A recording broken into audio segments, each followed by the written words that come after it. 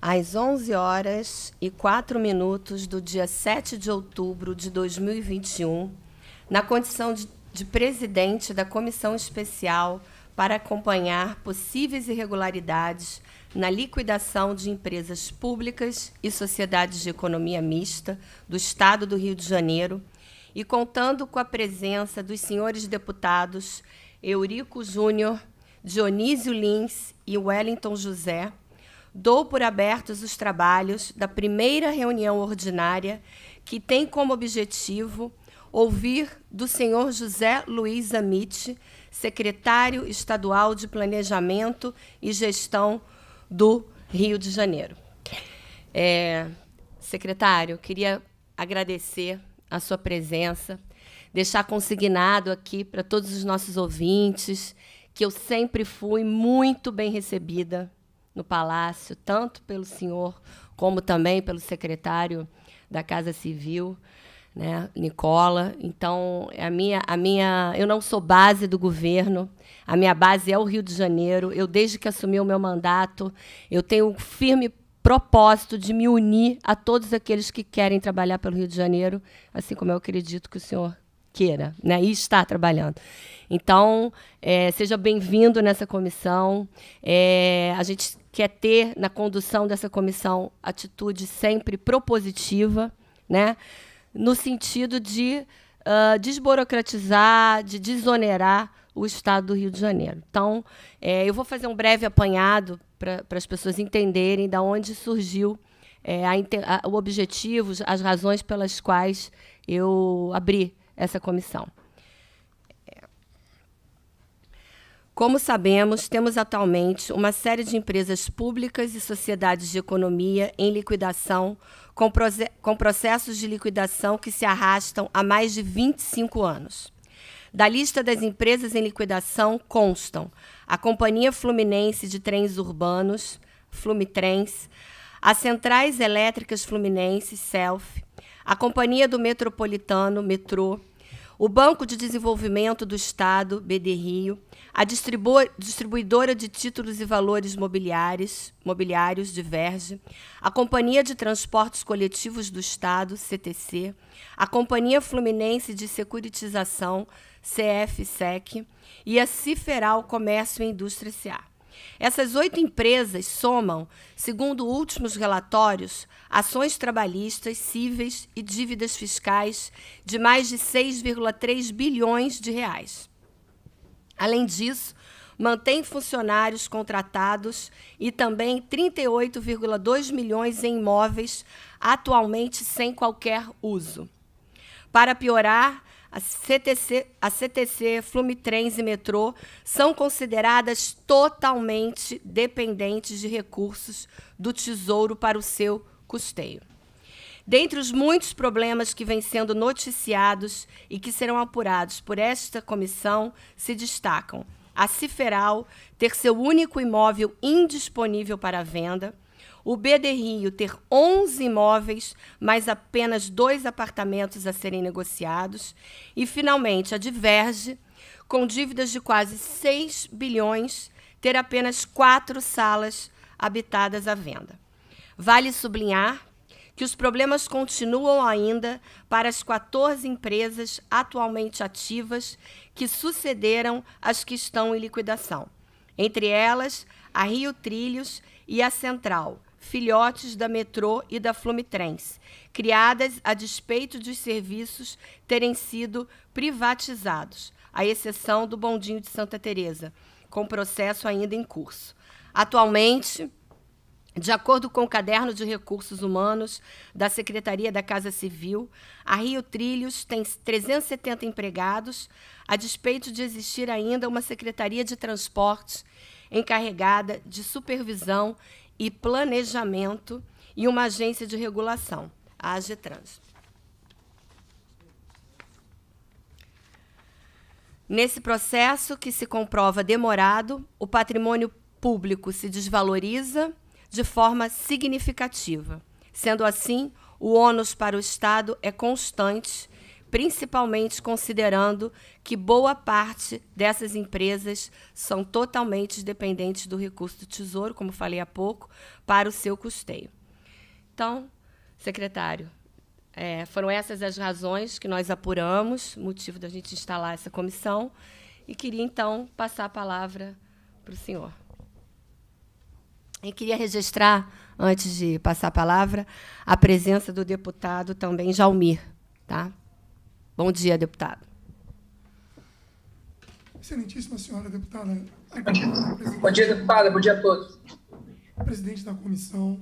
Excelentíssimos senhores deputados, Eurico, Dionísio, Jalmir, Wellington José, obrigado pela oportunidade de estar aqui e falar um pouquinho dessa situação das empresas em liquidação. Em primeiro lugar, é, para nós é uma oportunidade muito importante é, aproveitar esse momento de poder falar sobre as empresas em liquidação, principalmente para esclarecer é, o que, que são empresas em liquidação, por que o tempo é tão demorado e também conceituar ah, algumas deficiências em termos de entendimento em relação a empresas ativas e inativas. Nós tivemos há cerca de dois meses uma reportagem de um determinado jornal que nos procurou, inclusive, para determinados esclarecimentos. E quando houve a, a reportagem, o que a conclusão que nós que somos os responsáveis por, por tocar o processo das empresas em liquidação, nós chegamos à conclusão de que a reportagem muito mais confundiu do que ela esclareceu. E ao ter essa comissão hoje nos dando a oportunidade de poder falar sobre esse assunto, para nós é maravilhoso, porque nós vamos, de alguma forma, transmitir aos telespectadores e a essa, a este parlamento o que realmente é um processo de empresa em liquidação, que empresas são essas, por que elas estão nos determinados estágios que estão, quais são os desafios que nós temos e como nós estamos nos posicionando para, para poder resolver. Dito isso, nós montamos uma apresentação, a qual eu pretendo segui-la e espero, ao final, ter tenho como objetivo chegar ao final, ter esclarecido o máximo possível, mas também desde já já deixo em aberto que nós estamos aqui para esclarecer. Eu trouxe o meu time. Gostaria de apresentar o meu subsecretário Fernando Braga, que é o subsecretário de Modernização e Gestão, ao qual a coordenadoria está, de empresa em liquidação está presente, a Marcela, que é a superintendente respectiva, e a Regina, que é a coordenadora e que é a pessoa que bota a mão na massa para fazer a coisa andar. Bem. Bom dia, bom dia. É, nós gostaríamos de pontuar Eu acho que vai ter que ser por aí. Peraí, deixa eu apertar aqui. Também não funcionou.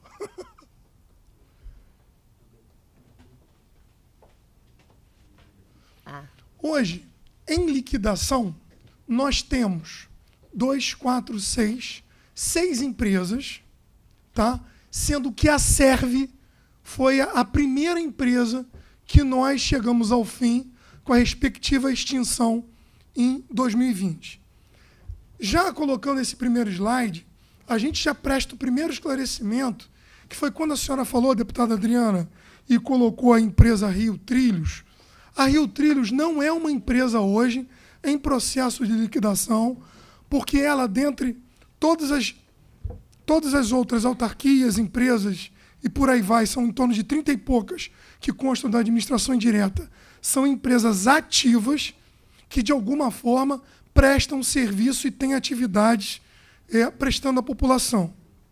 O que a senhora colocou, se elas prestam bem ou prestam mal, se tem muito servidor ou não, isso é um outro, uma outra discussão que nós podemos ter, estamos abertos a ter, mas não é algo que nós podemos discutir neste momento, porque elas não constam do processo de empresas em liquidação. Dito isso, a primeira coisa que nós da CEPLAG pretendemos fazer é apresentar qual é o processo que uma empresa passa quando ela se toma a decisão de transformá-la ativa em inativa, e aí nós chegamos a conclu cheguemos da inatividade até a extinção final.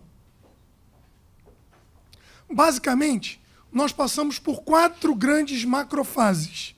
A primeira é a fase atual, que as nossas empresas da administração indireta estão, em que elas estão ativas, elas estão prestando algum tipo de serviço à população, elas têm atividades, elas têm estatuto, elas prestam contas, elas têm servidores, elas têm ativos.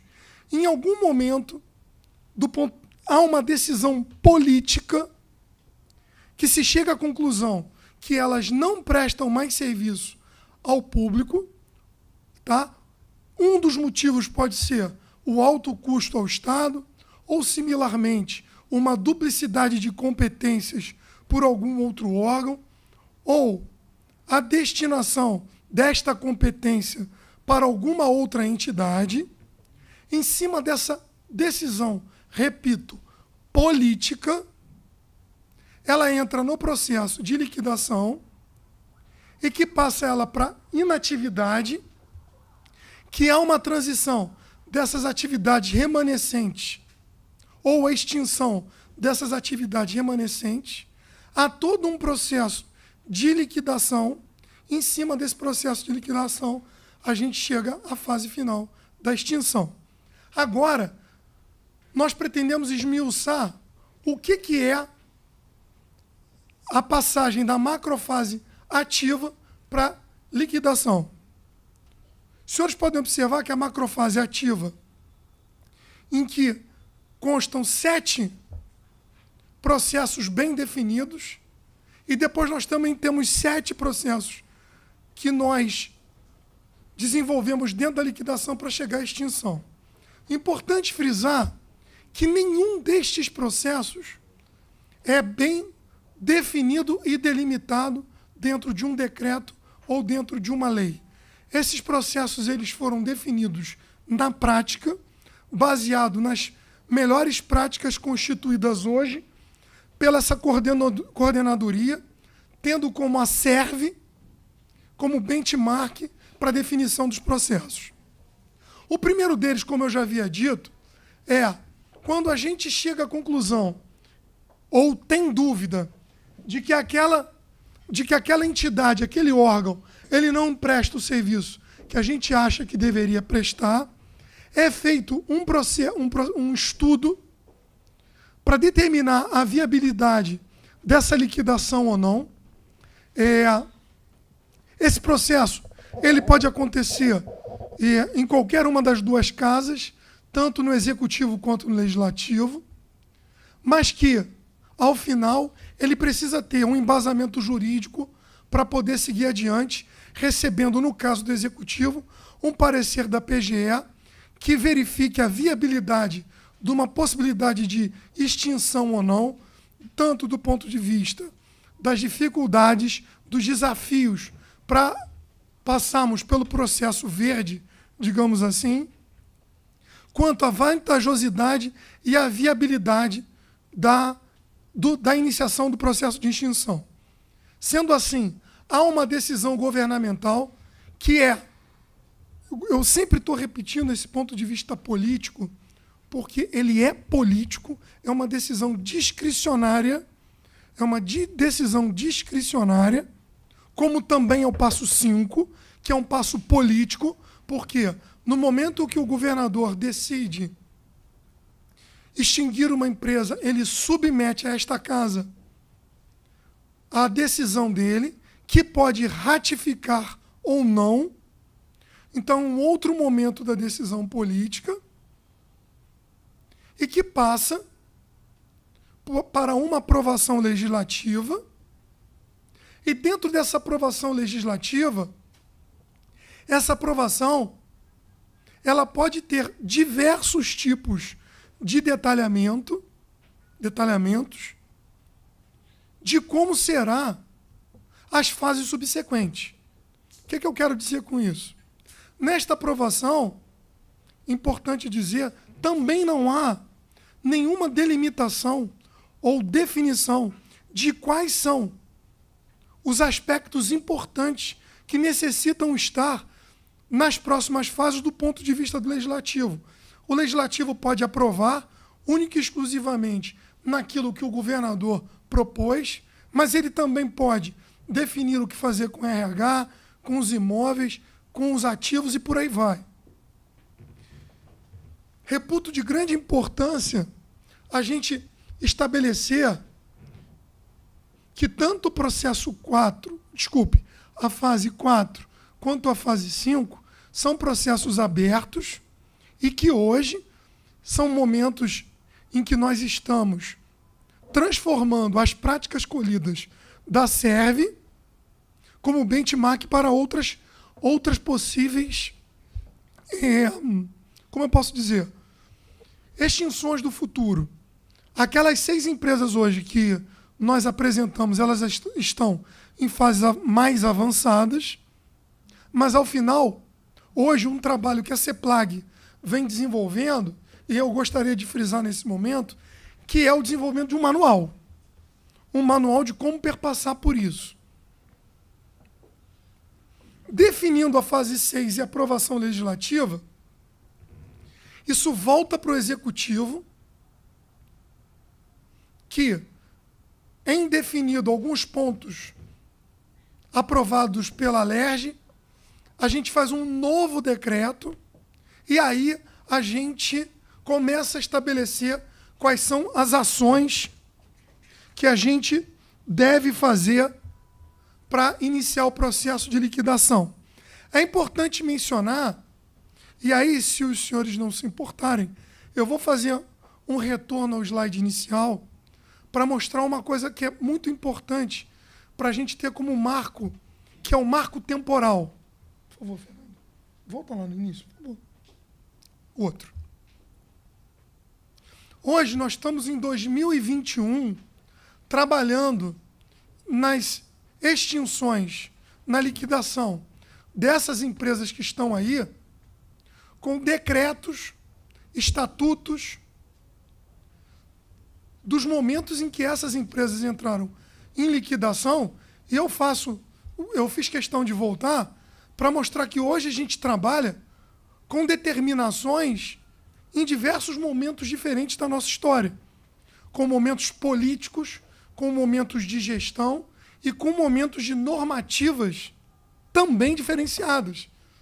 É importante frisar que o direito administrativo de hoje não é o mesmo direito administrativo daquele passado. Então, à medida que o tempo está passando, a gente tem uma dificuldade enorme. E os senhores verão que aí uma das dúvidas que poderiam suscitar, e eu já, já respondo aqui, ah, então, por que, que vocês não são mais rápidos? Não é uma questão de tempo e de controle que esta casa, tanto quanto o Poder Executivo, tem como resolver. Então, um dos mitos construídos dentro desse processo é que ah, nós estamos levando muito tempo. Não, nós não estamos. Se nós levarmos muito tempo do ponto de vista das nossas responsabilidades é, compartilhadas, isso não é verdade. Porque nós não controlamos o tempo. Nós podemos propiciar com que algumas ações possam acontecer. Mas os senhores verão que dentro do caminho crítico que um processo desse leva, eles são completamente é, fora do nosso controle. Volta para lá, por favor.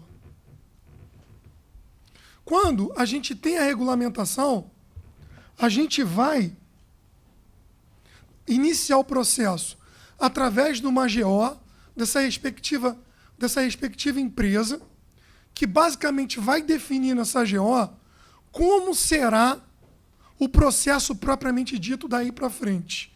Qual é a normativa que embasa os próximos passos? A lei das SA, a lei das estatais e os estatutos dessas empresas. Também é importante dizer que hoje há uma preocupação muito grande quando se estabelece um determinado estatuto em você pensar que um dia ela possa acabar.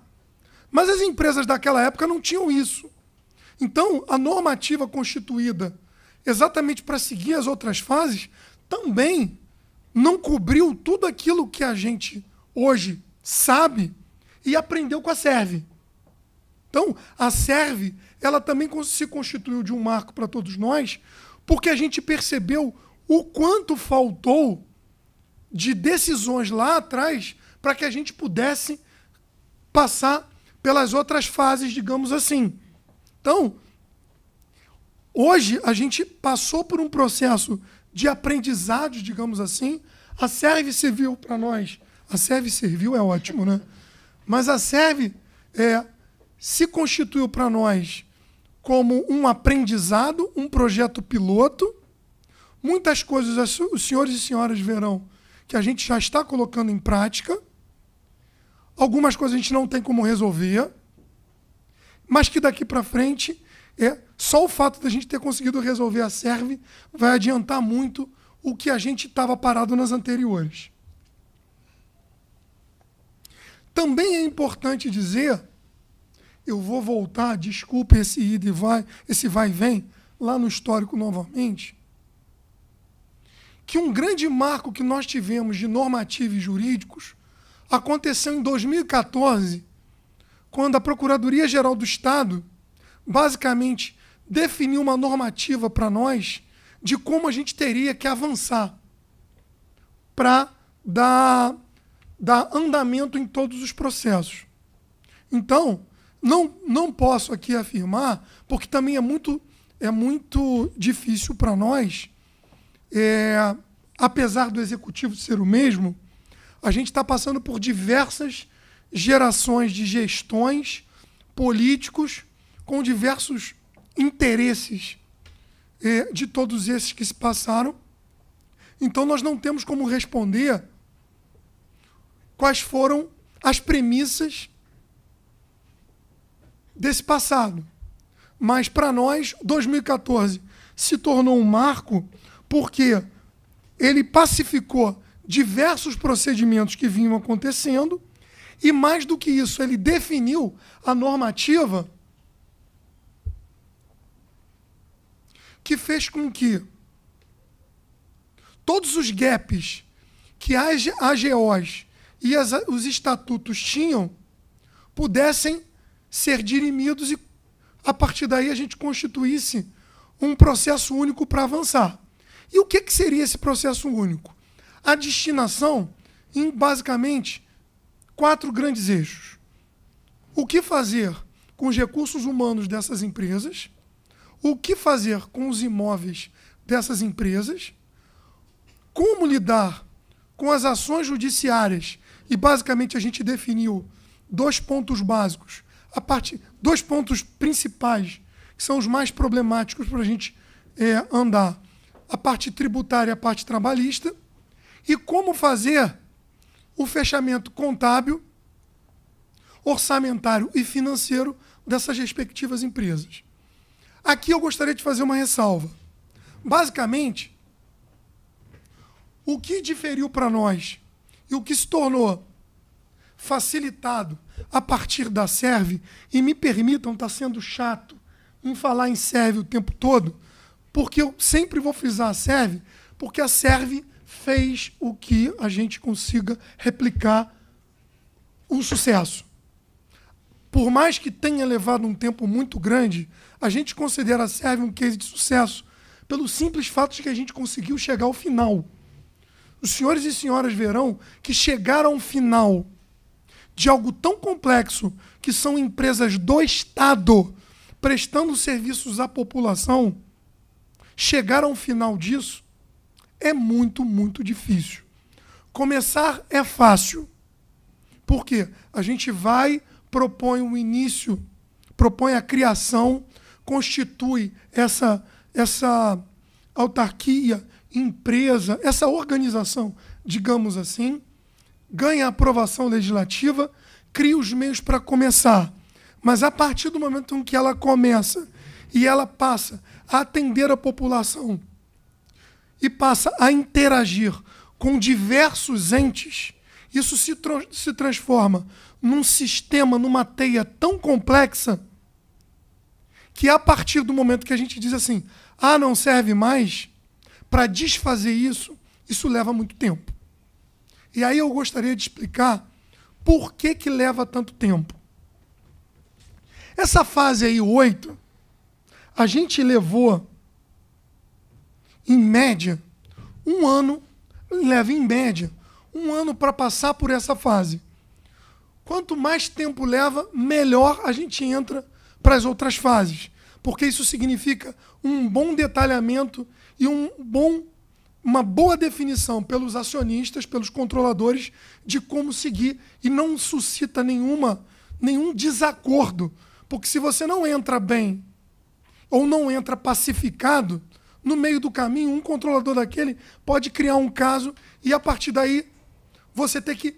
É, é, mais ou menos você fazer aquele jogo que a gente tem aí, todo mundo desde criança brincou, que é o banco imobiliário, né? Você avança, daqui a pouco volte 20 casas. Esse é um risco que a gente corre. Quando a gente passa para a fase 9 do RH, ele constitui dois pontos muito importantes. O primeiro, qual é a destinação daquele pessoal? A gente não pode esquecer que, basicamente, aquela empresa, por mais que ela seja definida como inativa, ela vai ter que fazer, fazer uma transição das suas atividades finalísticas, ela tem as, a transição das suas atividades meio, e, por último, como ela vai fazer esse processo propriamente dito de extinção. Isso significa que, basicamente, você tem que constituir três grandes grupos de pessoal. Tá? E a outra coisa é você se organizar para fazer isso. Esse é o primeiro desafio. O segundo desafio é a gente tratar a parte dos imóveis. Os imóveis são extremamente problemáticos. Por quê? Basicamente, a gente tem três tipos de tipologia, ou melhor, uma tipologia com três tipos de, de classificação. A primeira, os indisponíveis. São aqueles que eles são da própria, da própria organização, mas eles são indisponíveis porque eles foram invadidos, porque eles têm é, alguma destinação hoje em uso, porque eles vieram herdados de, uma, de um ente e não houve regularização. E é um embrólio jurídico. E aí aqui eu faço uma outra ressalva, que tem sido noticiado muito na mídia. Hoje nós temos imóveis da época do Império no nosso estado. Então, eu, eu me sinto à vontade de falar sobre isso, porque a Subsecretaria do Patrimônio está comigo. Então, a gente tem imóveis da época do Império, da prefeitura da capital, do estado da Guanabara, do estado do Rio de Janeiro, da própria União, que é da União, mas que tem algum embrólio com o Estado. Então, isso gera uma indisponibilidade que cai na fase 11. Na maioria das vezes, a gente não consegue resolver isso é, de modo em termos negociais. A gente precisa de uma arbitragem que faça a resolução disso. Os disponíveis, a gente tem um segundo problema que parece ser simples, mas não é. Que é o seguinte: ah, ele é meu, eu posso resolver, vou botar para vender. Ok, vou botar para vender. E se não aparecer ninguém? Eu não gero, eu não gero recurso. E aí, eu acabei pulando algo que eu estava falando lá na fase 8, que foi o seguinte: nós temos basicamente dois tipos de, de, de, de empresas: aquelas dependentes e as não dependentes. Pelas dependentes são aquelas que o Estado tem o compromisso e subvenciona a existência dela. Essa, o Estado pode aportar recursos para passar pelo resto das outras fases, que foi o caso da Serve. Nas não dependentes, a gente não pode aportar. O que, que isso significa? Se eu não passo pela fase 10, a gente não avança. Se eu não tenho alguém colocando a, a compra daquele imóvel, eu não posso gerar riqueza para poder pagar uma, um acordo judicial e, consequentemente, avançar. Porque eu só posso entrar como Estado para pagar alguma coisa, para passar da fase 11, a partir do momento que eu acabo com todos os ativos daquela empresa não dependente. Então, isso é uma situação que a gente tem hoje, que é mais ou menos quem nasceu primeiro. Eu não avanço porque eu não consigo. É, eu não avanço porque o Estado não pode botar dinheiro, mas aquela empresa não gera dinheiro para aquilo ali. Aí os senhores podem perguntar: ah, mas tem solução? Tem.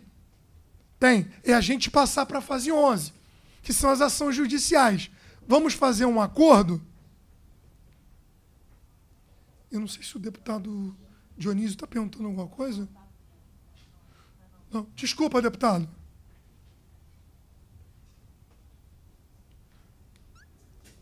Não? Não, falou não. que não. Tá bom. Eu, eu agradeço muito, mas não, ainda não, não tem necessidade de fazer nenhuma pergunta. Aliás, quero parabenizá-lo pela bela competência que Vossa Excelência tem à frente do governo. Obrigado, deputado. Então, a gente vai para os acordos. Só que os acordos, a própria palavra diz: acordo, alguém tem que aceitar. Então, a gente tem diversas possibilidades de fazer acordo, mas não necessariamente as pessoas aceitam. Então, a gente fica numa situação em que, se a gente gera riqueza numa alienação qualquer, a gente vai e paga aquilo que, o, que, que a justiça determina. Mas se a gente não consegue e oferece o imóvel, por exemplo, em acordo, a pessoa pode não aceitar e a gente fica com diversas ações trabalhistas que não se resolvem. Tá? Eu dou o exemplo aqui eu tenho um monte de exemplos aqui, tá? Em que a gente, por exemplo, o acordo civil da ação, da ação civil da BD Rio, que, com a CIMAC, que são os, os advogados que estão, que estão reclamando os honorários de sucumbência. É uma dívida de 1 milhão e 900 que a gente não consegue resolver. É um problema. Então, a gente não passa, não pode avançar. Ah, mas então como é que a gente avançou no caso da Serve? Na Sérvia, a gente avançou por ela ser dependente e o Estado botar o dinheiro, a gente conseguiu mostrar que, no final das contas, quem tinha que pagar o acordo era o Estado. Então a gente transferia, digamos assim, a responsabilidade da SERV para o Estado. O Estado continua. Vamos lá, vou tentar ser um pouco mais claro. Eu tenho A que tinha obrigação de responder. Mas quem é o head do A? Quem é o, o cara que, no final das contas, o resseguro do A? É o Estado. Certo? Então a gente mostrou o seguinte: que independente da serve, no final quem paga está aqui atrás, que é o Estado. Então vamos fazer o seguinte: passa para cá, mata no peito aqui e deixa a serve resolver, porque a serve é custo. E hoje a gente tem uma unidade dentro da fazenda que está terminando de equacionar o pagamento das ações trabalhistas. Mas a gente também tem um outro problema, que eu só falei dos acordos. São a interlocução com os outros entes. Exemplo, a gente tem um imóvel que está indisponível e que a gente tem uma gigantesca dívida do IPTU. Então, como é que a gente faz? A gente tem que conversar com a prefeitura do município para aceitar um acordo. Aí a gente mostra que aquele imóvel está invadido. Por lei, ele é invadido, não tem que ter IPTU. Mas a gente precisa entrar em negociação. Aí a gente entra na política. Porque os calendários eleitorais não são os mesmos. A gente começa a chegar a um acordo, mudou o prefeito. Quando a gente começa a encaminhar, mudou o governador. E aí a gente não consegue falar, avançar. E aí os senhores podem estar pensando assim: ah, mas então é prefeitura, justiça? Não. Eu vou mostrar mais à frente no caso da SEV a quantidade de itens. SPU, advogados, pessoas físicas, prefeituras. Isso tudo faz com que essa fase 1 se torne interminável.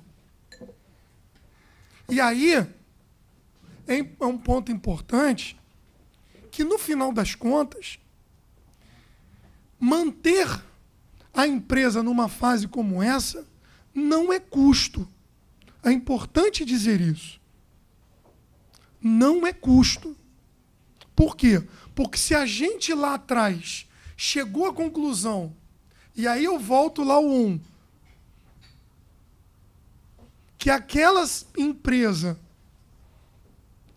ela não é mais prestadora de um serviço público e a gente conseguiu passar da fase 8, a gente está cuidando do patrimônio da população. O que, que eu quero dizer com isso? Se eu continuasse prestando um mau serviço, aí sim eu estava gerando um custo, por quê?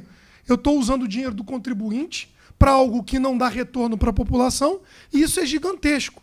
Mas se eu chego ali e estou cuidando de uma maneira que, no final das contas, o prejuízo seja o mínimo possível, o que eu estou fazendo é cuidar do patrimônio da população. Porque eu poderia passar por essa fase de qualquer jeito. Então, é, atender os interesses, gerenciar os interesses, para que a gente passa da fase 11 da melhor maneira possível, é garantir que aquele patrimônio da população do contribuinte saia da melhor maneira possível. Passando por essa fase 11, a fase 12 ela é muito mais complexa do ponto de vista processual, porque são balanços, é contabilidade, é fazer uma, um batimento com a contabilidade, com a contadoria pública do Estado. É aquilo que eu falei anteriormente, é desfazer aquela complexidade, aquela teia de aranha, de uma maneira que a gente consiga estabelecer um marco temporal e não deixe nenhum problema para trás e aí, depois que a gente passa por isso, a gente tem um decreto governamental que aí sim dá os, a, a, determinação para fazer a extinção e a gente faz os atos finais e, e, e abaixa. Colocando esse processo da maneira como a gente apresentou aqui agora, eu vou pegar este mesmo processo e vou mostrar como é que a gente fez para a Serve. Para a Serve, a gente iniciou o processo com o decreto de liquidação em 1996. Ele levou quatro anos para ser aprovado pela Assembleia, pela Assembleia Legislativa. Depois, nós regulamentamos no Executivo um ano depois. E aí, nós levamos de 2001 a 2014 para sistematizar os procedimentos internos, porque aquilo era inédito. E o que, é que eu quero dizer com isso? Pode parecer muito tempo, e eu repito que hoje eu não tenho nenhuma capacidade para dizer, fazer juízo de valor se é muito tempo ou pouco tempo. Não tenho, repito, e não assumo isso. Por quê? Porque eu não tenho noção da capacidade e a complexidade que seriam esses procedimentos internos para serem sistematizados. O que eu posso dizer é que 2014 foi o parecer final da PGE pacificando tudo isso. Tá? A partir daí, foi feita a AGO em 96. 96 a gente estabeleceu como é que seria a organização interna dentro do corpo de servidores da organização. E aqui eu gostaria de fazer um marco importante, que eu gostaria de chamar a atenção também para um outro ponto, deputada, que a senhora levantou, sobre a utilização dos recursos humanos. Isso é algo muito importante. O que nós temos feito no Executivo é exatamente a gente tentar otimizar os recursos humanos das empresas em liquidação. O que, que eu quero dizer? É usar o mesmo pessoal para gerenciar todas as empresas em liquidação. Por dois motivos. O primeiro é a relação custo-benefício. Grana. Pagar menos. Diminuir o custo do o custeio do Estado para com esse pessoal. O segundo é utilizar o expertise dessas pessoas. Por quê? Porque replicar as, as boas práticas e os ensinamentos e a experiência que aquelas pessoas têm para poder fazer a coisa avançar. Depois, na parte dos imóveis, depois de muito acordo, a gente conseguiu fazer uma dação em pagamento das ações trabalhistas. Tá? Pro, promover isso e conseguimos é, esse acordo. Em relação àquela fase das ações judiciais, eu também queria colocar um outro ponto, que parece que a gente entra num processo como esse sabendo o que a gente vai encontrar. E a todo instante a gente vai recebendo surpresa. Por quê? Porque não há nenhum momento que diga o seguinte: olha, até chegar a esse determinado ponto, a gente aceita a ação trabalhista e a gente vai é, é, matar no peito isso como passivo. Não, enquanto o processo está acontecendo, as ações estão pipocando. Isso significa que dentro do, dessa fase de ações judiciais, a gente tem diversas ações com diversos graus de maturidade. Aquelas que a gente já entra lá na GO sabendo o que, que precisa fazer e já começamos lá da GO trabalhando para resolver, mas tem aquelas que começam do zero naquele momento, naquele momento em que a gente chega naquela fase. Então, exemplo, se a gente leva cinco anos para sair da GO para resolver uma ação que a gente sabe que era um passivo com uma determinada empresa, essa empresa, uma empresa com um problema similar, digamos, um credor, que não se manifestou, que não se manifestou lá na AGO que a gente sabia, esse cara aparece naquele momento, nós estamos somando mais cinco. A senhora entendeu? Então, isso é um grau de dificuldade que é imprevisível.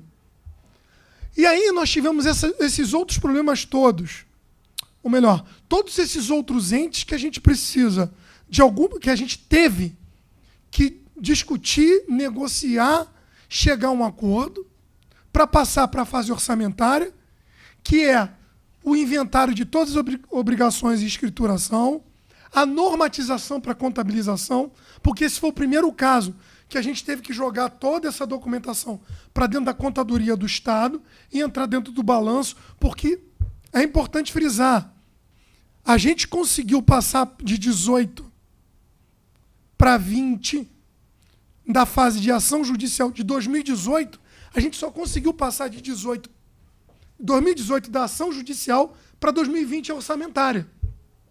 E aí eu queria enfatizar que houve uma novidade, regime de recuperação fiscal, que colocou um caminhão de problemas, tanto pro, pro caminhão de problemas não, né? Não vou chamar de problema, mas um caminhão de, de normativas e que se a gente não fizesse direito, podia trazer reflexo na própria manutenção da gente dentro do regime. Que um, uma dessas, dessas manifestações normativas é o quanto a gente poderia e como deveria fazer de, de um, provisionamento dentro do orçamento para os acordos judiciais, para não impactar ou gerar compensação, para não aparecer com uma nova despesa e gerasse uma descompensação entre receita e despesa. E aí nós chegamos em 2019, 2020, na, no, no decreto e 21 a gente conseguiu chegar nos atos finais, tá? Que foi a extinção propriamente dita, foi esse ano. Esses são todos os desafios que nós passamos em termos é, de, de, de datas. Podemos analisar esses desafios de diversos pontos de vista. Nós, do Executivos, comemorando, principalmente porque a gente conseguiu fazer. Então, é, nós demos um salto muito grande na, nessa nova administração, quando nós saímos de 18 para 20 esse passo de 18 para 20 já deu uma celeridade enorme nas outras empresas dependentes. Então, as empresas dependentes deram um avanço, as não dependentes continuam tendo. A gente continua, não vou chamar de empacado, mas a gente continua buscando solução para elas. E eu gostaria agora de apresentar mais ou menos como estão cada uma delas. Nós estamos nessas fases com todas elas. As empresas com asteriscos, asterisco são as empresas não dependentes. São aquelas é, que a gente tem dificuldade para fazer aporte do Estado para passar da fase de ação judiciais. Todas as outras a gente agora, com esse marco temporal, a gente está trabalhando para passar pela fase de ações judiciais. Tá? Eu esqueci, eu, eu, eu gostaria de, de, de, Eu esqueci de falar aqui.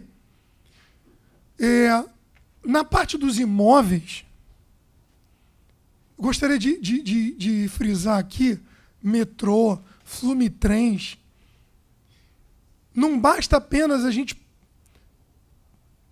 chegar àquela tipologia que eu mencionei de indisponíveis, disponíveis e, e, e para alienação.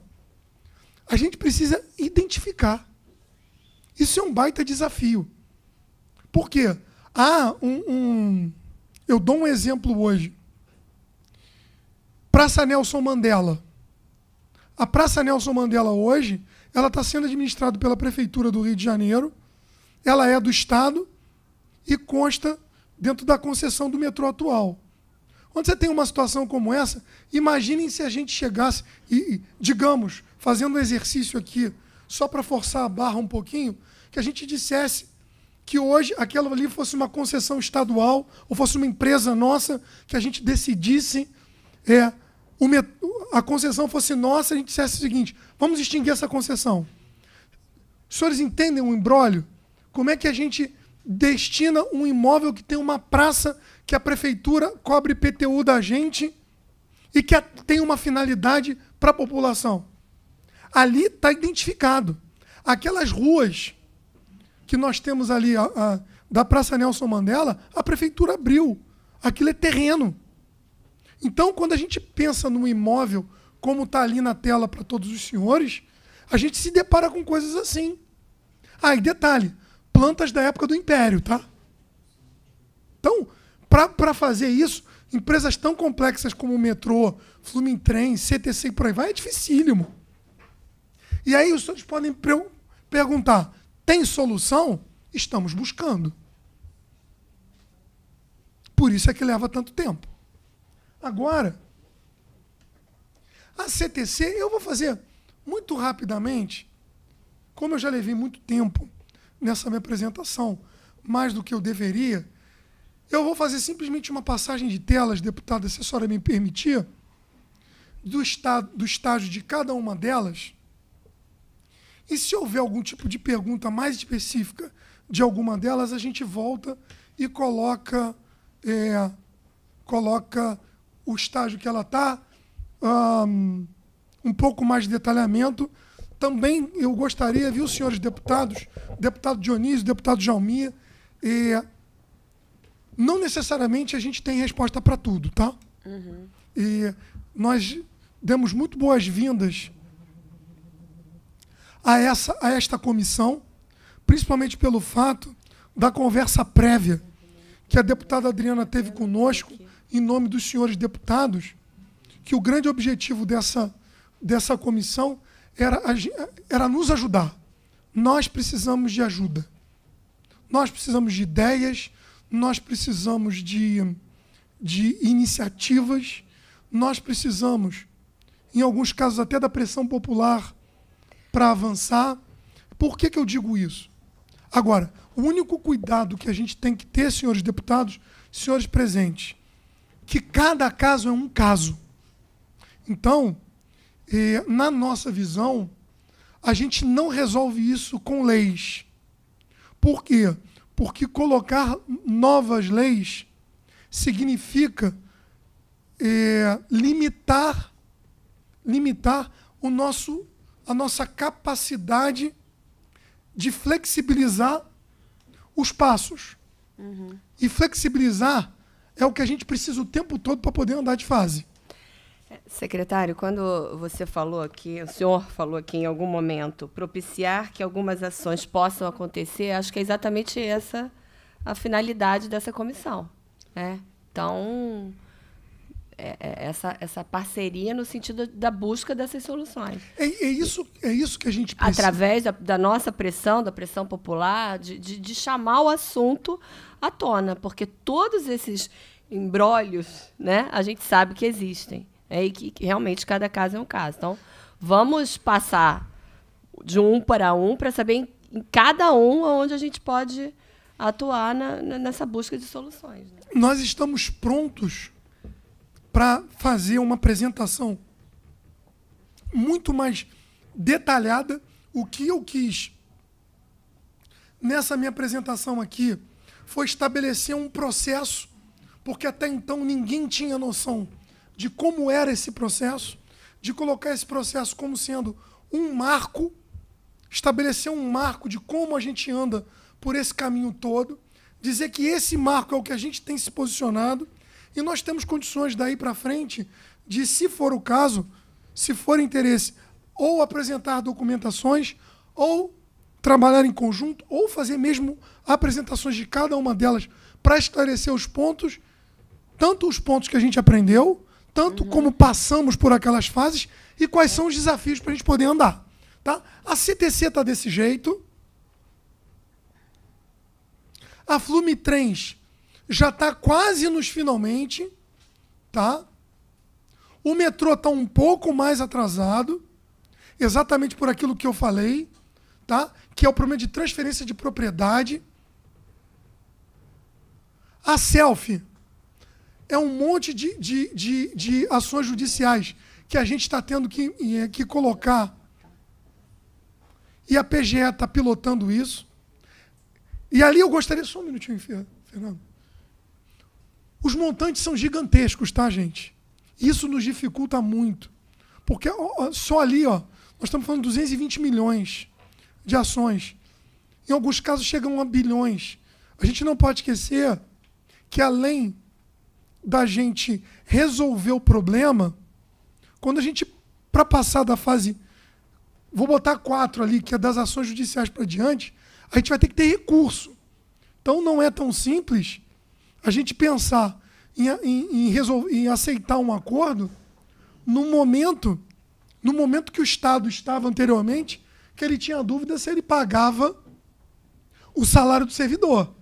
É importante a gente dizer isso. Isso é uma coisa, viu, deputado, que eu gostaria sempre de, de que eu sempre faço em todos os lugares que eu vou, é sempre dizer o seguinte: a gente tem um cobertor curto, a gente tem prioridades. Nós precisamos fazer escolhas. Hoje, se a gente apresenta uma lei orçamentária, eu fico muito à vontade de falar e juntar tudo porque é a minha pasta. Eu tenho capacidade hoje de ver todo o Estado. Então, hoje, se a gente tem capacidade de colocar uma lei orçamentária para 22 de uma maneira mais confortável, foi pelo trabalho que a gente vem fazendo de fazer escolhas. E fazer escolhas é o seguinte: a gente tem que ser muito aberto e a população precisa saber que é o seguinte: eu preciso dar dinheiro para segurança em detrimento de alguma outra coisa. Eu não vou fazer acordo judicial esse ano porque eu vou pagar o servidor. O ideal é que a gente conseguisse fazer tudo ao mesmo tempo. Mas o bolso do contribuinte é finito. A gente não faz o contribuinte trabalhar para a gente. A gente faz o contribuinte aportar um recurso para ele ter isso em resultado para ele. Esse é o fim do Estado. Então, isso é muito importante, que é colocar as coisas no seu devido lugar.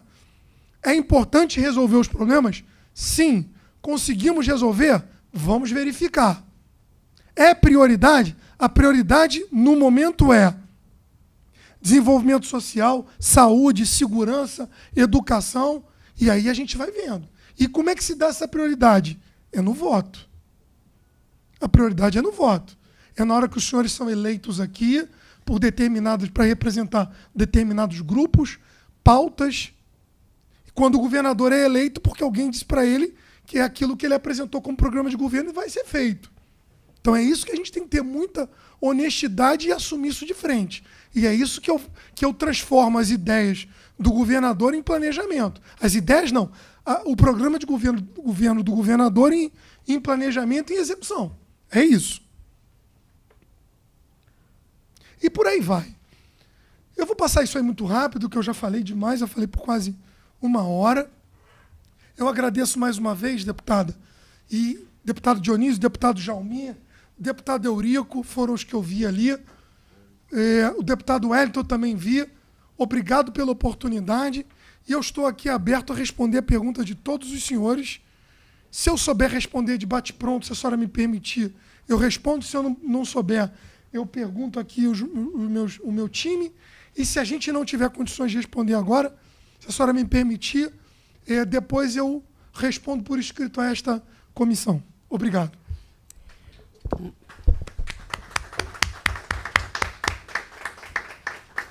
Muito obrigada, secretário, pelas, pelos esclarecimentos iniciais, né? Porque a gente acho que ainda vai trocar muito né, no caminhar dessa, dessa comissão.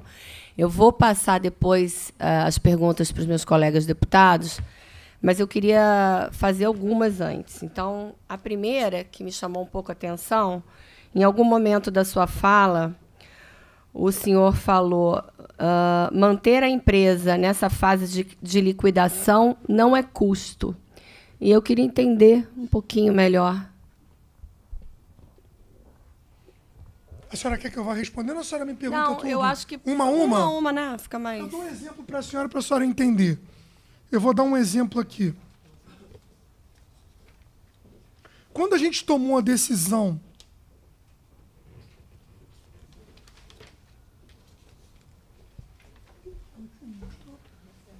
dos 135.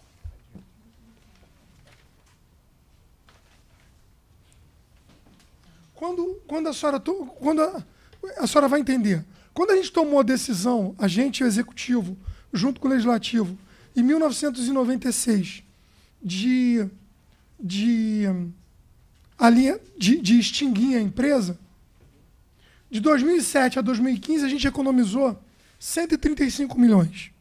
Então, o que, que eu quero dizer? Quando a gente toma a decisão de fazer isso, nós estamos protegendo o contribuinte de gastar 135 milhões de reais. Então, o fato é que quando a gente toma a decisão, a gente vai ter que fazer um processo. Não é basicamente a gente chegar e dizer assim, eu não quero mais. Para percorrer esse processo de 20 anos, protegendo um patrimônio do contribuinte de deixar de aportar 135 milhões, isso tem um custo. Então eu olho esse custo e eu coloco esse custo como uma proteção ao contribuinte por não gastar ou não deixar que aquele dinheiro seja utilizado de uma maneira que não nos atende mais. É nesse sentido que eu quis dizer. Há custos para fechar, para liquidar, mas se tivesse aberta, nesse sentido, então. Exatamente. Tá ótimo. Outra coisa que me chamou a atenção, que a gente até discutiu, eu, porque eu também tenho o meu time, sabe, secretário? E eu preciso falar muito bem do meu time sempre. É, foi no, a gente conversou quando a gente debatia aqui as razões da, da, da comissão que uh, até, até por uma atitude propositiva que eu gosto sempre de ter, se esses funcionários dessas empresas não poderiam estar em outras, traba continuar trabalhando, só que em outras empresas, e o senhor falou disso aqui em algum momento. Né? Parece que eles estão trabalhando na, na, na própria liquidação, né? que o senhor colocou, é, gerindo essa, essa liquidação, mas o quanto disso está sendo aproveitado também no geral, né? No, no, porque seria menos um. Seria pelo menos. Eles continuariam gerando é, custo, digamos assim, né? Seria, continuaria, mas estariam trabalhando, né? Também produziriam, digamos assim, né? Essa, essa, essa pergunta que a senhora fez, eu divido ela em, em duas, em duas, em, em, dois aspectos. O primeiro é que se a gente olhar, coloca naquele slide dos estágios. Aí, passou. O outro. O outro. Esse. Se a senhora observar, essa parte das empresas que estão em liquidação, nós já passamos pela fase do RH. Uhum. O que, que isso significa? Que, de alguma forma, o que era extraquadro foi, foi, foi. Não, o extraquadro extra deixou de existir e os servidores de carreira foram, de alguma forma, destinados à aposentadoria, aproveitamento em alguma outra, alguma outra organização do Estado e por aí vai. Então, olhando para aquele retrato ali, a gente já passou por isso.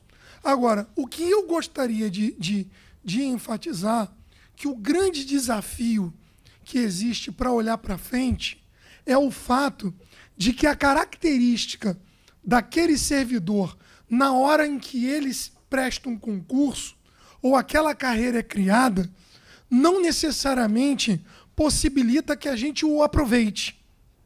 Então, exemplos. Hoje, a gente tem, é, vou usar um exemplo de psicólogos no Estado. Psicólogo é uma coisa só, mas a carreira que o contratou, que o, que o, que o, que o escolheu né, dentro do concurso público, trouxe diversas é, características que hoje, por exemplo, se colocar os psicólogos no mesmo lugar, a gente já começa tendo diferenciação salarial. Esse é um desafio. Então não é tão simples a gente conseguir é, utilizar. Mas essa é uma prioridade quando a gente passa por aquela fase ainda no ativo.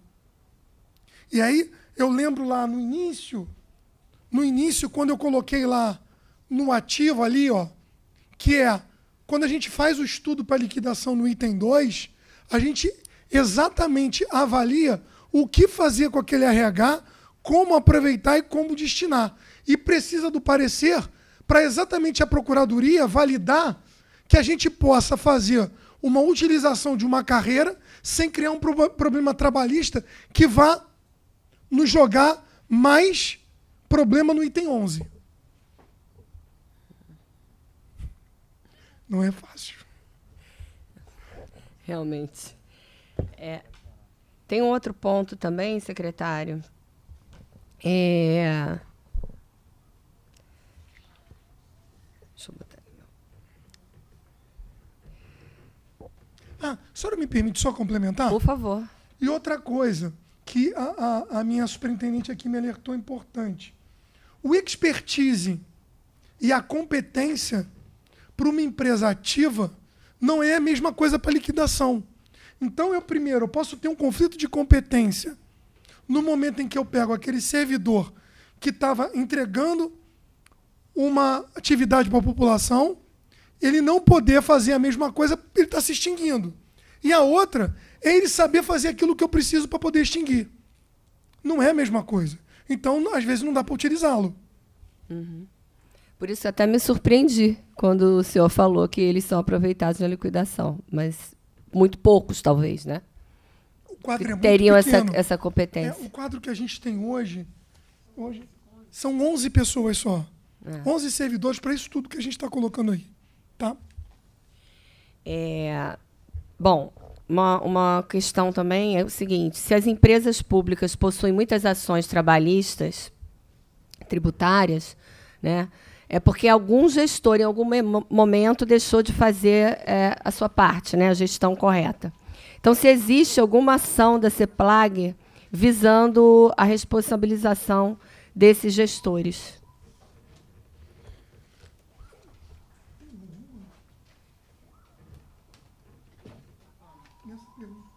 Deputada, em relação a isso, a gente precisa é, também dividir em duas, né?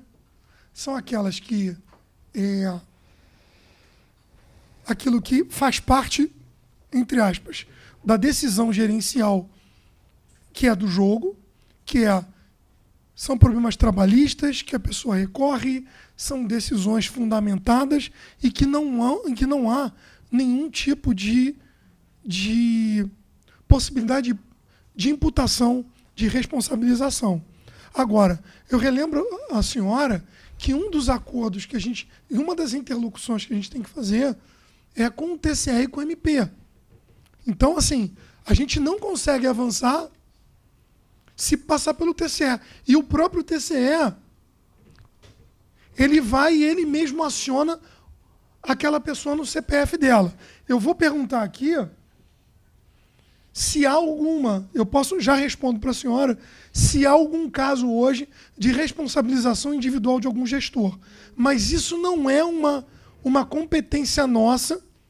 A nossa competência, ela nasce se a gente, ao longo do processo, até dela ativa, se algum dolo, a gente abre uma sindicância ou a gente prepara algum tipo de investigação e, entre aspas, entre aspas pede a punição nelativa. A partir dali, já não é mais nosso dever gerar algum tipo de investigação, porque isso aí já não nos compete. Mas eu vou verificar aqui se há algum caso desse no CPF de alguém.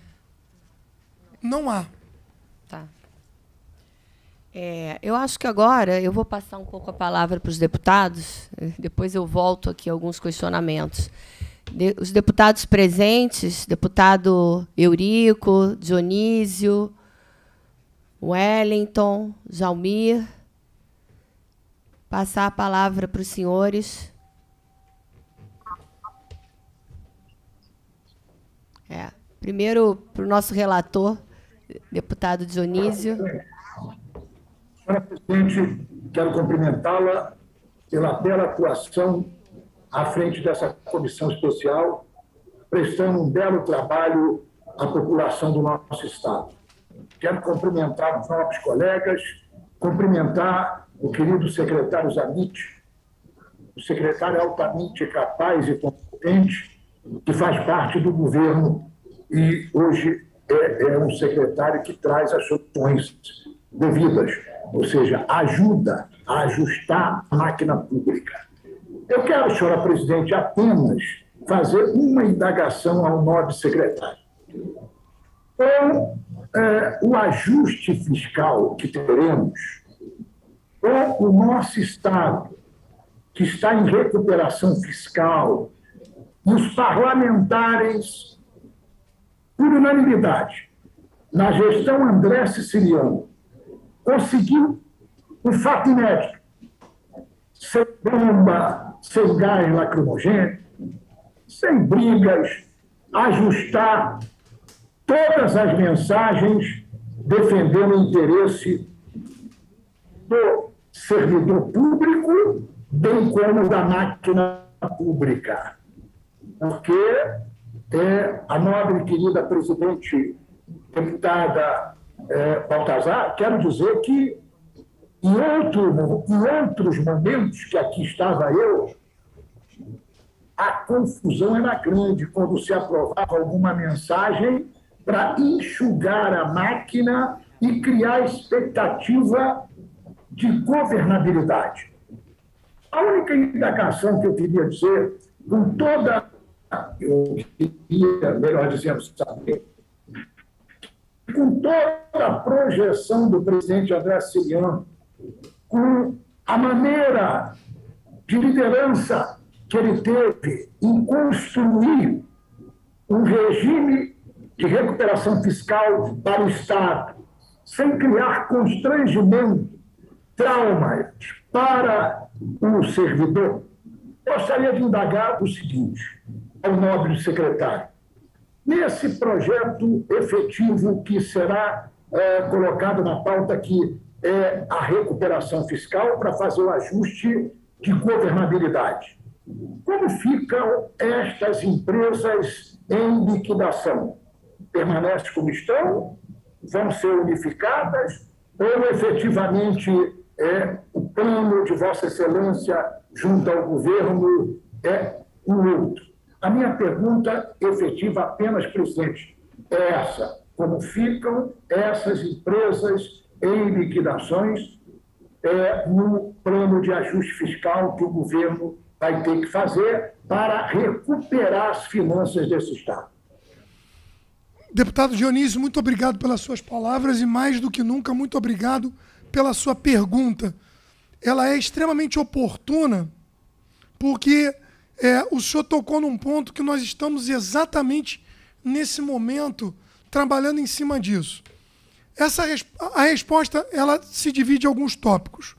O primeiro é o seguinte: nós não temos capacidade de convergir essas empresas para um, vamos chamar assim, um bolo só, pelo simples fato de que elas são tão diferentes, os problemas são tão diferenciados e são CPN, CNPJs diferentes que nós não temos capacidade de unificá-las. A única coisa que a gente consegue unificar é o pessoal que trabalha do que, tra que trabalha é, para tocá-las, digamos assim, para tocar esse processo de liquidação. Do ponto de vista da resolução do regime, eu também vou responder. Só me desculpe o pragmatismo, eu sempre trabalho muito assim, de um, dois, para marcar bem o pontinho da resposta. É, do ponto de vista dos próximos passos, nós tra estamos trabalhando é, em duas vertentes. A primeira, as empresas dependentes. As empresas dependentes, nós estamos nos obrigando agora de fazer um levantamento para usar o mesmo aspecto que nós utilizamos na SERV para sair da fase 1 para a fase 2, isto é, como nós resolveremos as ações judiciais, qual é o montante que o Estado vai ter que pagar, que não seria necessariamente por aquela empresa que está ali, e nós colocamos isso na lei orçamentária, fazendo um batimento com a perspectiva de pagamento disso. Então, já para 22, a gente já tem alguma coisa colocada lá. Não significa que é tudo. Não significa que é tudo, porque senão a gente ia estar tá colocando muita coisa, entre aspas, provisionando muita coisa, e isso desequilibraria e geraria um déficit desnecessário na nossa lei orçamentária. Esse é o primeiro ponto. O segundo ponto é aquilo que a gente necessita provisionar, que o plano nos coloca, que, que, o, o regime nos impõe, que nós colocamos no plano que está indo para Brasília, que é o que poderá vir a acontecer das empresas não dependentes. A isso a gente está colocando também. Então, deputado, resumindo a, a minha resposta, eu acredito, no final das contas, que a partir de agora, aquelas empresas dependentes, elas vão ganhar uma velocidade e as empresas não dependentes vão ser aquelas que nós vamos ter uma certa dificuldade para poder avançar. Senhora presidente, eu gostaria de fazer uma outra indagação. Nós acompanhamos, porque somos presidente da Comissão de Transporte, a questão efetivamente da Secretaria de Estado de Transporte e seu guarda-chuva. O que nós verificamos, até porque tínhamos lá um indicado nosso, o ex-deputado Evésio Frias, que era diretor de patrimônio é, é, da Rio Tribos, e ele, como advogado, ex-deputado constituinte, me trouxe um grave problema e eu cheguei a encaminhar para o governo. E depois vamos encaminhar logo o presidente para a nossa presidente da comissão é, fazer efetivamente a indagação efetiva, onde se vê uma indústria de penhoras por dívida trabalhista. Indústria de penhoras essa que o trabalhador em alguns momentos, até ganhou ação à revelia, que o trabalhador criou, inclusive, constrangimento desnecessário. E aí o Estado vem, de vez em quando, praticando incentivos. Mas o ponto cruel é termos, por exemplo, uma sede, como a sede de Copacabana, que é um prédio valorizadíssimo, um prédio que tem lá a Rio Trilhos, tem a Central Logística, tem o Detro, tem o gabinete do secretário. Este prédio também está penhorado. Vários patrimônios da Rio Trilhos, patrimônios caríssimos, ou seja, valorizadíssimos, que inclusive Vossa Excelência citou, que é pertinente ao metrô, tem ciência, inclusive, de área que foi vendida no leilão e não houve efetivamente a entrega da área, porque essa área está comandada pelo município. Então, eu indago a Vossa Excelência, o nobre secretário, o que, que objetivamente o senhor tem é, cuidado com, com, com, com, com a, a, a Procuradoria, de modo a ajustar, liberar alguns imóveis e ficar toda a penhora absolutamente nu, porque o valor é extremamente alto, e tentar, com isso, viabilizar recurso para o Estado, vendendo as outras áreas. Mas é preciso isso ter, assim, é, a PGE tem um controle absoluto, porque na época que o deputado Edésio Fri estava, que não tem muitos meses, né, não houve boa vontade da Procuradoria para definir e tomar e retomar terrenos valiosos. Aliás, até alguns no Leblon, na Zona Sul, que estão invadidos, sem gerar um tostão. E a nobre presidente Adriana Baltazar tem toda a razão, porque se paga uma folha, a empresa não é ruim, ou seja, o patrimônio é superavitário, a Rio Trilhos, por exemplo. Tá? Aí eu indago, Vossa Excelência, o senhor pontualmente tem um procurador cuidando especificamente desse caso, para que a gente pegue os imóveis valiosos, os imóveis que é importante para o Estado fazer caixa, desvincule e coloque apenas um até se resolver o imbróglio? Esta é a minha indagação a Vossa Excelência.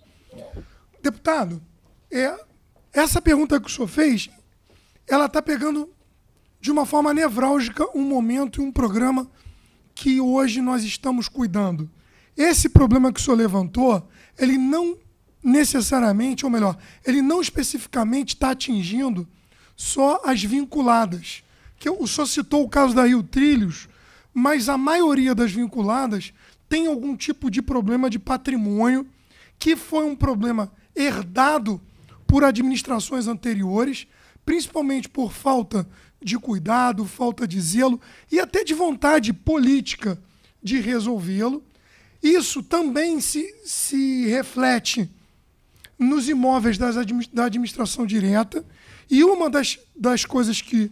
Uma, uma das ações que o governador Cláudio Castro me orientou quando eu assumi em 17 de setembro do ano passado, quando ele passou para minha secretaria, a subsecretaria de patrimônio, era desenvolver um programa piloto dentro da Subpat para destinação dos imóveis, de modo a regularizar os imóveis não utilizados, que fossem apenas custo ou que tivessem destinação social. E usando essa experiência nós depois o aportasse, a aportássemos para a administração indireta, porque da mesma forma que nós tivemos aqui o exemplo da Serve, que foi uma prática que a gente aprendeu, aprender dentro da administração direta e depois ir a cada uma das, das organizações da administração indireta e levar esse, esse expertise. Esse é um programa de longo prazo, não é um programa fácil, porque ele, além de ter problemas de titularização, regularização da, titula, da titularização, definição de georreferenciamento da, do imóvel, utilização não, não correta do imóvel, invasão, processos de uso capião e por aí vai, de muitos deles, é algo que a gente também não conseguiu chegar ao fim. Então, agora, o senhor, que muito provavelmente vai se candidatar e será reeleito, o senhor sabe que o que vai acontecer é que, no nosso caso, nós estamos construindo, por orientação do governador Cláudio Castro, um programa de Estado, não é um programa de governo. O nosso mandato se encerra no final do ano que vem. Eu muito provavelmente vou conseguir botar o programa na rua, ele vai acontecer para alguns imóveis e a gente vai encaminhar isso como sendo um exemplo para o futuro.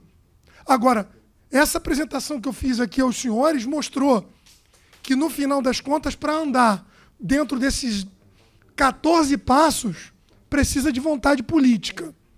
E isso eu não consigo garantir para o senhor, porque eu, eu garanto enquanto o governador Cláudio Castro estiver aí. Porque é uma determinação dele e é uma orientação de governo. Vamos construir um programa de Estado, mas o que vem pela frente é o som no próximo mandato.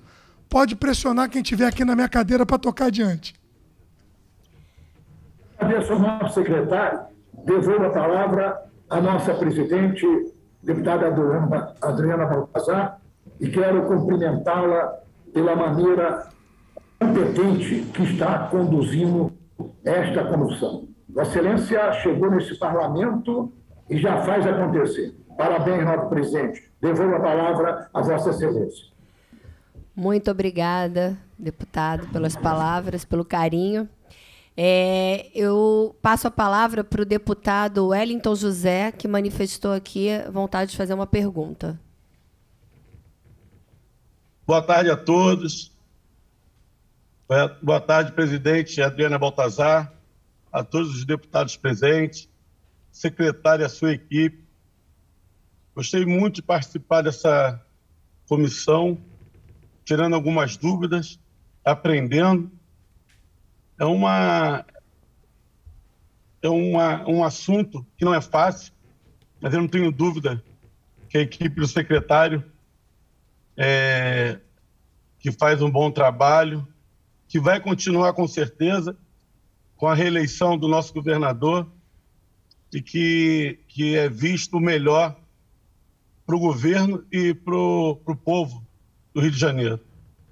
Eu vou fazer uma pergunta aqui eu acho que cabe, e eu vivi, vi, trabalhei oito anos na SEDAI, né, tenho amigos na SEDAI, não foi falado da SEDAI, mas eu vou perguntar ao secretário, quero perguntar se o conhecimento dele, se ele pode estar me orientando e nos ajudando. Tenho amigos e familiares na SEDAI, funcionários que passaram em concurso, que hoje estão muito preocupados com a situação do emprego, de garantir o seu emprego. Muito mesmo, de verdade. Chegam até a mim, chegam até os deputados. Queria saber do secretário, secretário, esses funcionários não podem ser remanejados é, para o, o nosso estado, para o nosso, para as nossas secretarias? Deputado, muito obrigado pela sua pergunta. É um prazer enorme estar falando com o senhor aqui nesse momento. É, eu vou dizer para o senhor que, e confesso para o senhor que isso é uma pergunta que eu não estava preparado para respondê-la.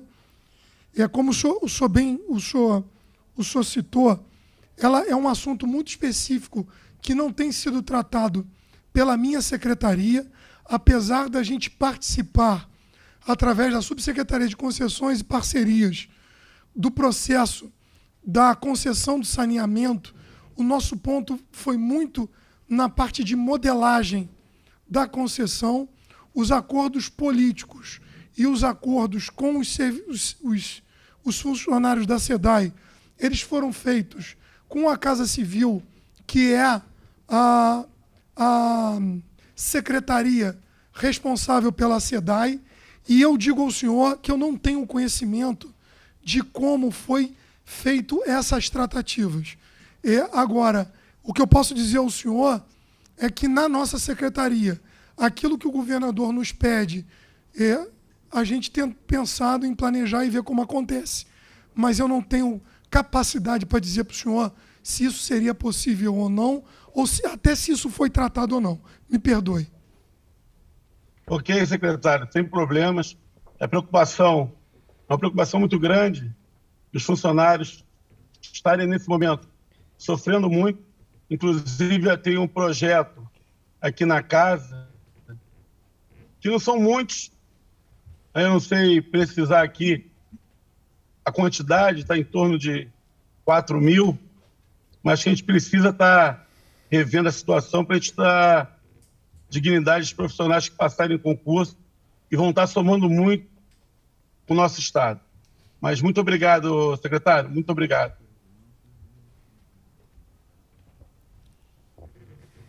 Algum deputado mais gostaria de fazer pergunta? Deputado Eurico, deputado Jair, Jamil. Sim, presidente, gostaria de falar, presidente. Bo bom dia. Por favor. Bom dia, presidente. Bom dia, secretário Zamit, que eu tenho a honra de, né, fora da política, ter uma amizade, uma pessoa que eu tenho uma admiração antes mesmo né, de vir candidato a deputado, antes mesmo de apoiar né, o, o, o, o Cláudio. E queria, desde já, é, primeiramente, parabenizar a presidente pela condução né, é, da comissão, é, a, a, relatoria também, o deputado Dionísio Lins, que é um, ele sabe da admiração que eu tenho por ele, os demais deputados presentes fazem parte dessa comissão. É, a, a, a, população ela precisa de, de, transparência, ela precisa de informação, isso são princípios constitucionais. Né? As, as, informações que envolvem questões públicas né, é, precisam ser, é, é dar publicidade. E tanto a LERJ, né, através do nosso presidente André Siciliano, quanto o nosso governador, o Poder Executivo, demais secretários têm trabalhado de uma forma dinâmica, de uma forma diferenciada das demais das gestões anteriores, tem sido transparente, tem sido tem dialogado. Eu costumo dizer que a, a, o princípio da abertura ao diálogo ele tem que efetivamente funcionar, tem que ter funcionalidade. Não adianta simplesmente é, teorizar e não se, não, se colocar, não, não se colocar em prática a questão da abertura ao diálogo, não só dentro do ambiente público, mas principalmente para a população, porque a população merece o nosso respeito. A população ela merece saber as coisas que estão acontecendo, né, as tomadas de decisão. Então, na verdade, presidente, eu queria é, parabenizar a Vossa Excelência mais uma vez pela condução, toda a equipe, em especial o nosso secretário Zamit, que foi muito, tem sido muito esclarecedor né, é, na, na, na, na atual na comissão nessa, na, nessa data, na data, na data de hoje. Queria me desculpar por não estar presente fisicamente, né? Acabei é, é, é, já tinha outros compromissos compromissos marcados na agenda, não consegui desmarcar antes da, da marcação dessa, dessa audiência, mas dizer que estou à disposição, né? É, confio no governo Cláudio Castro. É, posso dizer que já são quase um ano de governo Cláudio Castro, não se fala, né? Não tem nada comprovado né, no, que se, no que se refere à questão de esquema de corrupção. Ao contrário, o Cláudio ele tem buscado dialogar diariamente com todos. Né? Não, ele não coloca questões ideológicas, né, questões políticas e partidárias à frente da população. O nosso país, o nosso Estado está nessa situação hoje porque os políticos se preocupam muito mais com questões políticas partidárias ideológicas do que com a população. É óbvio que isso é importante, a gente tem que sim, é, opinar, a gente tem que expor nossas, nossas, nossas opiniões, é importante isso, mas é um momento de nos unirmos, né, juntarmos força para ajudar o nosso Estado, que foi massacrado durante anos e anos. Então, queria, na verdade, parabenizar, estou acompanhando aqui cada detalhe, cada informação, e a parabenizar mais uma vez o nosso secretário Zamit pelos esclarecimentos e toda a sua equipe, e me colocando à disposição né, para o que for preciso, não só para ajudar o meu município de São Gonçalo, né, que eu moro na cidade até hoje, na né, eleição de vereador, assumi como deputado, eu moro no mesmo lugar até hoje, porque eu amo a minha cidade, mas também todo o estado do Rio de Janeiro, porque na condição de deputado a gente representa não só a nossa cidade, mas todo o estado. Muito obrigado pela oportunidade e mais uma vez me coloca à disposição e mais uma vez parabenizo a todos aí é, envolvidos nesse processo. Muito obrigada, deputado Jalmir. É, secretário, eu teria aqui várias outras perguntas, mas eu acho que a gente já está né, tá em tempo adequado, suficiente por hoje. Né? São quase duas horas de, de, de reunião já. É, eu, eu vou fazê-las através, vou oficiar, né? Peço que vocês tenham o compromisso de responder, porque essa comissão tem um prazo para acabar, então que sejam breves, rápidos nas respostas. Conto com seu time, né? Tenho certeza que responderão o mais breve possível. É, gostaria de agradecer muito a sua presença, seus esclarecimentos. Acho que a gente tem muito a trabalhar a, a, a minha proposta ao abrir essa comissão, repito, é, foi de ter uma atitude mais propositiva, de trabalhar junto, é, sempre pensando né, no nosso estado do Rio de Janeiro. Fui sempre muito bem recebida lá. É, agradeço pela disponibilidade sua e do seu time. É, e passo a palavra para as suas considerações finais. Mais uma vez eu agradeço a todos os senhores essa oportunidade de estar aqui esclarecendo algo que é tão complexo na nossa atividade. Agradeço muito as perguntas de todos os deputados. Meu caro amigo deputado Jalmir, muito obrigado pelas suas palavras. Excelentíssimo deputado Dionísio, conto com o senhor a nos ajudar. Deputado Wellington, aquilo que o senhor precisar da nossa ajuda, nas suas necessidades e causas. O senhor sabe que tem um guerreiro na CEPLAG pronto para lhe ajudar. E, deputada Adriana, é, a orientação do governador Cláudio Castro, é, nós sempre temos o diálogo. Então, recebê-la lá, independente da pessoa que a senhora é, amável que é, a senhora sempre teria a nossa consideração, mas eu não faço mais do que uma determinação do meu governador. Então, a senhora sempre terá, independente do seu posicionamento, além da pessoa que é, a nossa, a nossa resposta, porque a determinação do governador é diálogo sempre. Saiba que a senhora vai mandar as perguntas, será a prioridade máxima da minha subsecretaria e, mais do que isso, depois que nós passarmos por esse processo todo, o governador tem colocado uma determinação de darmos transparência. Nós da, da CEPLAG estamos no momento de rearrumar o nosso site. A minha ideia depois, isso havia na Cefaz, mas eu vou colocar na CEPLAG um botão específico no site em que nós vamos pegar essa apresentação como modelo e disponibilizar com hiperlink toda a documentação que vier, e, e, respectivamente, de cada uma das empresas. Eu ia pedir para os senhores disponibilizarem também para a comissão. Tá Não, bom? isso eu mando para a senhora é. já. Isso eu já posso mandar hoje. Ou uhum. agora, se a senhora quiser. Já, a gente já vai mandar. Olha. Mas eu estou dizendo, é muito mais de carregar tudo e dar transparência de tudo dentro do Estado e transformar essa apresentação, esse processo em algo vivo. Muito obrigado. Obrigada, secretário. É, algum deputado, deputado Dionísio, Wellington, Jalmir, desejam fazer, desejam fazer alguma consideração final?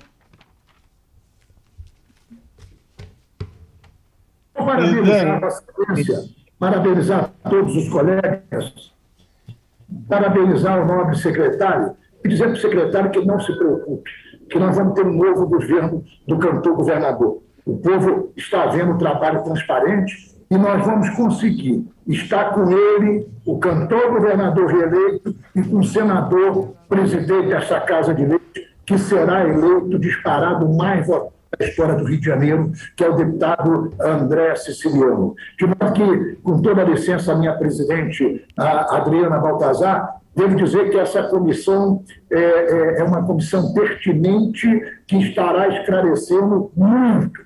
E eu tenho a honra de ter sido convidado por Sua Excelência, a nobre presidente, estarei presente para ajudar em tudo. Parabéns, secretário, pelas explicações Parabéns pela vinda e prestigiar a nossa comissão, a nossa presidente e trazer efetivamente vários esclarecimentos que a presidente não é brinquedo, não. Se prepara, secretário, que essa presidente é atuante. Ela vai mandar muitas perguntas ainda, hein? Um grande abraço, que Deus nos abençoe. Muito obrigado a todos vocês.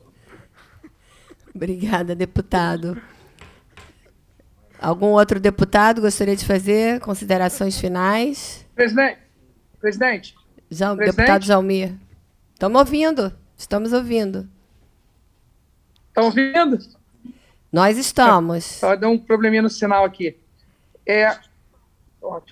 E o que mais me deixa, é, me deixa é, é, bastante empolgado né, desse processo é justamente a imparcialidade de todos, independentemente ou não. Eu acho que isso é o mais importante. Mais importante de tudo, o governo também se comporta dessa forma, através de secretários através dos demais secretários envolvidos né, é, dentro desse assunto, desse aspecto, e tenho certeza que, com base no princípio da imparcialidade, com base no princípio da publicidade, com base no princípio da informação, né, é, tudo será esclarecido né, de forma democrática, porque são princípios constitucionais dentro do, do, do, do, do regime político que nós vivemos no nosso Estado, para esta casa, para toda a população é, do Estado do Rio de Janeiro. Muito obrigado mais uma vez pela oportunidade. Um grande abraço, que Deus abençoe a vida de todos. Deputado Wellington, gostaria de colocar Boa tarde, presidente. É, parabenizar pela belíssima condução, tá? E parabenizar todos os presentes. Fiquem com Deus. Uma boa tarde a todos. Boa tarde, deputado. Nada mais havendo a tratar, gostaria de agradecer a presença de todos e encerrar a primeira reunião ordinária desta comissão.